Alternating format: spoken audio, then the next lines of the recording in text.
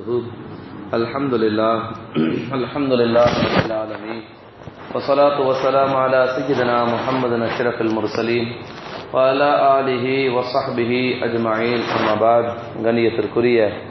அல்லாஹின் நல்லடியார்களே அல்லாஹு சுபஹானஹு நம் அனைவரையும் நல்ல விஷயங்களில் ஒன்று சேர்த்து வைப்பானாக.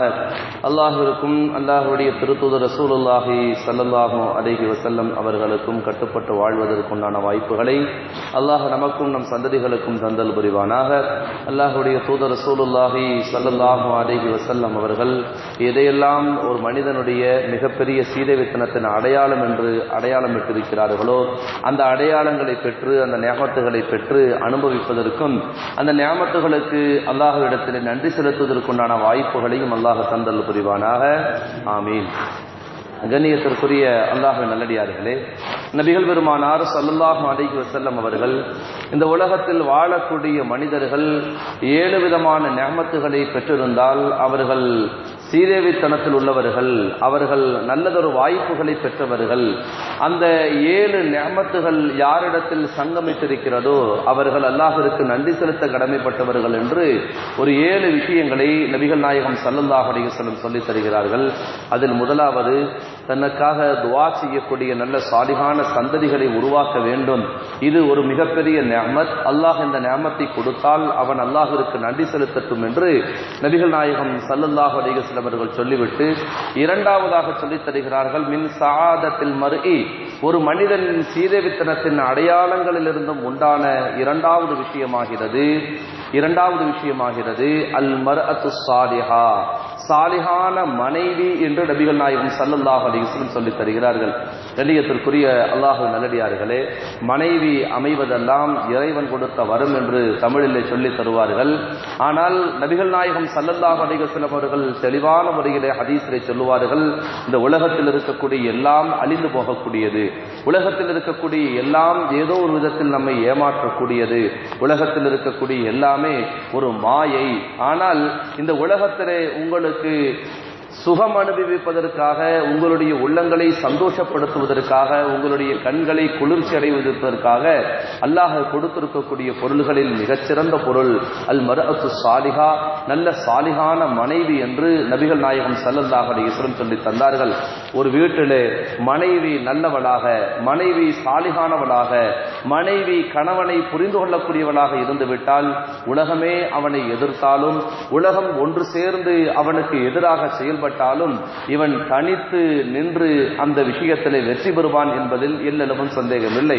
ஆனால் உலகம் எல்லாம் ஒன்று சேர்ந்து இவனுக்கு ஆதரவு தெரிவிக்கக்கூடிய நிலையிலே மனைவி மாத்திரம் இவனை எதிர்த்து விட்டால் உலகமே இவனுக்கு சொர்க்கத்தை கொடுத்தாலும் மனைவி நரகத்தை போன்று இருந்து விட்டால் அவனுடைய வாழ்க்கை இனிக்கவே இனிக்காது கசந்து போய்விடும் என்பதுதான் நம்முடைய முன்னோர்கள் நமக்கு சொல்லித்தரக்கூடிய மிக முக்கியமான செய்தி என்பதை நாம் மறந்துவிடக் கூடாது நம்முடைய மனைவிமார்கள் நல்லவர்களாக இருப்பது அல்லாஹ் நமக்கு நெமத் செய்திருக்கிறான் என்பதனுடைய அடையாளம் என்று நபிகள் நாயகம் சல்லல்லாஹ் அலிகசலம் சொல்லிக் கொடுத்தார்கள்.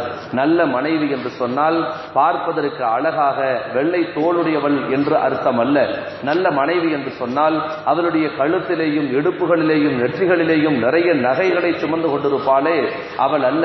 நல்ல மனைவி என்று சொன்னால் நல்ல மனைவி என்று சொன்னால் நபிகள் நாயகம் சல்லல்லாஹ் அலைஹிஸ்ஸலாம் அடையாளப்படுத்துகிறார்கள். இதான் நவர இலைகா அந்த மனைவியின் பக்கம் கணவன் பார்வையை செலுத்தினால் தன்னுடைய பார்வையை தன்னுடைய மனைவியின் பக்கம் செலுத்தினால் தசருஹா அந்த கணவனை சந்தோஷப்படுத்தக்கூடியவளாக மனைவி இருப்பாள். அந்த கணவனை பார்வையிலேயே சந்தோஷப்படுத்துவாள்.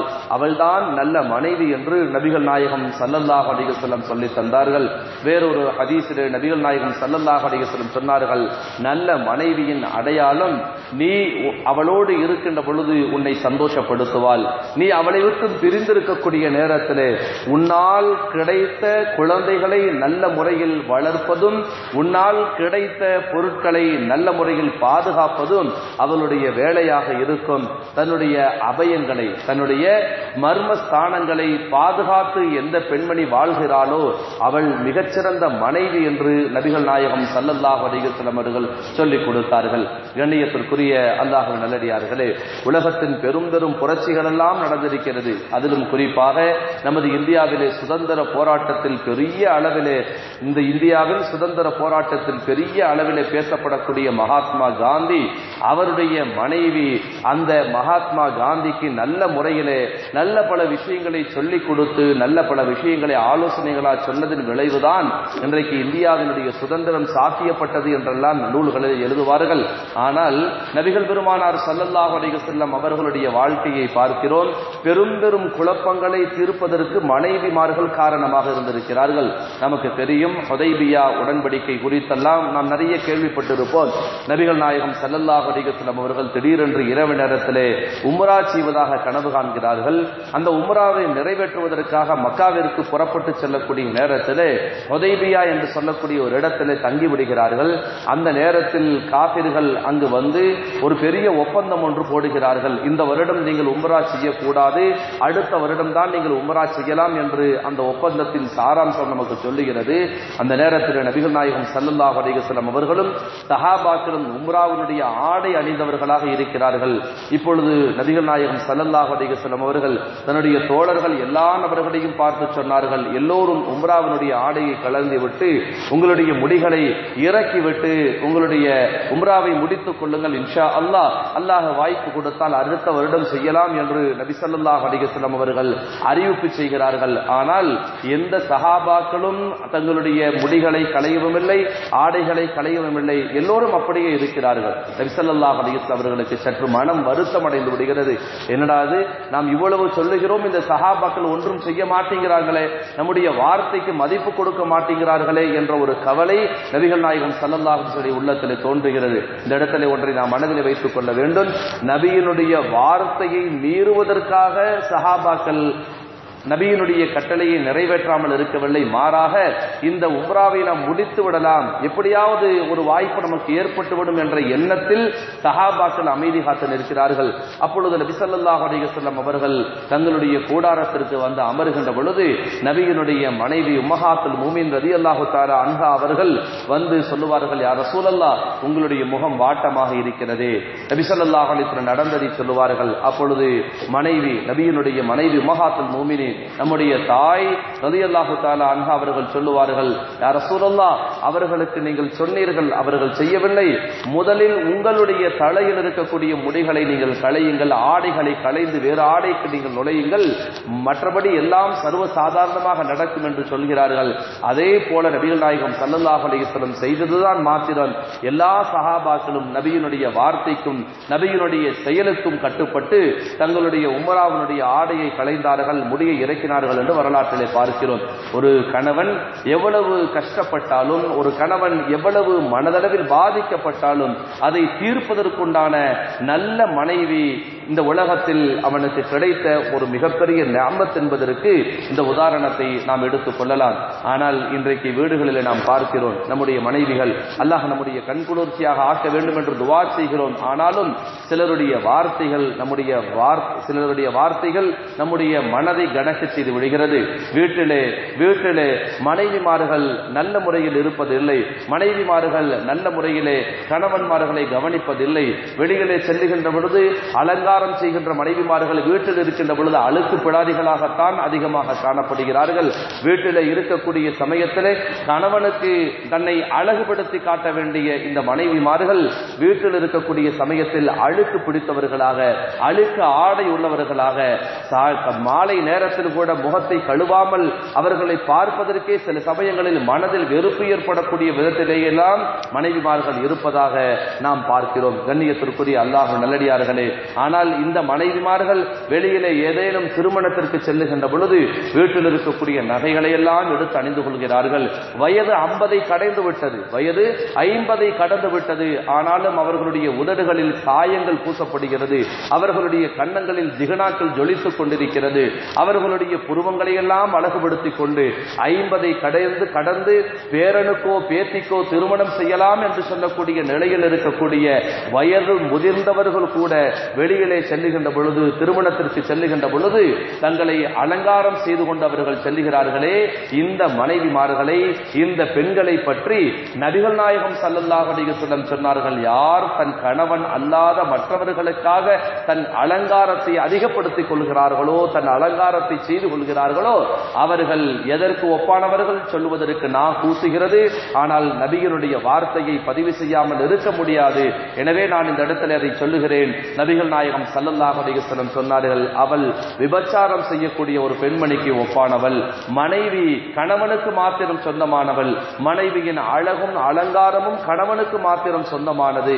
அவள் வெளியிலே அடுத்தவர்களுக்காக அதை செய்யக்கூடாது என்பதை சமூகத்திலே பதிவு செய்வதற்காக இது போன்ற கடினமான வார்த்தைகளை நபிகள் நாயகம் சல்லல்லாஹு அலைஹி அவர்கள் பதிவு செய்தார்கள். எனவே கண்ணியத்திற்குரிய அல்லாஹ் நல்லடியார்களே நல்ல மனைவி நாம் பார்க்கின்ற பொழுது நம்மை சந்தோஷப்படுத்தக்கூடிய நாம் கவலையில் இருக்கின்ற பொழுது நம்மை ஆறுதல் படுத்தக்கூடிய நாம் காயப்பட்டிருக்கின்ற பொழுது நம்முடைய காயங்களுக்கு நம்முடைய காயங்களுக்கு மயில் இறகுகளால் மருந்து தரக்கூடிய மனைவியாக இருந்தால் அது சாலிகான மனைவியின் அந்த சாலிகான மனைவியை பெற்றது நம்முடைய நியமத்துகள் அதிகமாக இருக்கிறது என்பதை நாம் விளங்கிக் கொள்ள வேண்டும். திருதொரு ஹதீஸிலே நபிகள் பெருமானார் சல்லுல்லாஹ் அலைஹி சொல்லுவார்கள் மின் ஷகாவத்தில் மருகி ஒரு மனிதனின் மூதேவித்தனத்தின் அடையாளம் ஒரு மனிதன் மூதேவியாக இருக்கிறான் என்பதனுடைய அடையாளம் என்ன தெரியுமா? நபிகள் நாயகம் சல்லல்லாஹ் அலைஹி செல்லம் சொன்னார்கள் அல் மர் ஒரு கெட்ட மனைவி ஒரு மனிதன் மூதேவித்தனத்தின் அடையாளம் என்று சொல்லிக் கொடுத்தார்கள். மனைவி நல்லவளாக மனைவி கண்ணியமானவளாக மனைவி கண் குளிர்ச்சியாக மனைவி கல்புக்கு இதமானவளாக இருக்கின்ற பொழுது அது அந்த ஆணுக்கு ஞாமத்தாக இருக்கிறது. ஆனால் அதே சமயத்தில் மனைவி அந்த ஆணுக்கு எல்லா விதத்திலேயும் கஷ்டத்தை தருபவளாக இருக்கின்ற பொழுது அது அந்த ஆணுக்கு மூதேவித்தனத்தின் அடையாளமாக இருக்கிறது என்று நபிகள் நாயகம் சல்லல்லாஹ் அலிசன் சொல்லிக் கொடுத்தார்கள். எனவே கண்ணியத்திற்குரிய அல்லாஹ் நல்லடியார்களே நம்முடைய மனைவிமார்கள் என்றைக்கும் நமக்கு சாலிகான முறையிலே நம்முடைய கண் குளிர்ச்சியாக இருப்பதற்குண்டான வாய்ப்புகளை அல்லாஹ் தந்தல் புரிவானாக.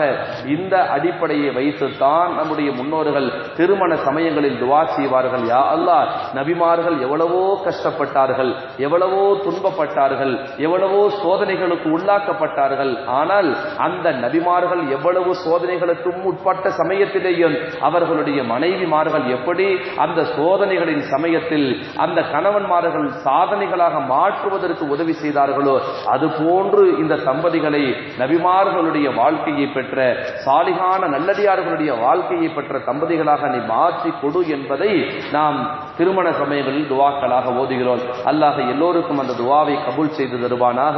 எல்லோருடைய வாழ்விலேயும் நேமத்துகளை பெற்றவர்களாக அல்லாஹ் ஆக்கியல் முடிவானாக மிக குறிப்பாக திருமணம் ஆகக்கூடிய திருமணம் ஆகிவிட்ட எல்லோருடைய மனைவிமார்களையும் அல்லாஹ் கல்புக்கு இதமானவர்களாக கண்களுக்கு குளிர்ச்சியானவர்களாக ஆக்கியல் முடிவானாக ஆமீன். வாக்குறது தாவானா அனில் அல்ஹம்துலில்லாஹி ரப்பில் ஆலமீன். அஸ்ஸலாமு அலைக்கும் வரஹ்மத்துல்லாஹி வபரகாத்துஹு. சுப்ஹானல்லாஹி வபிஹம்திஹி சுபஹானக் அல்லாஹும்ம வபிஹம்திக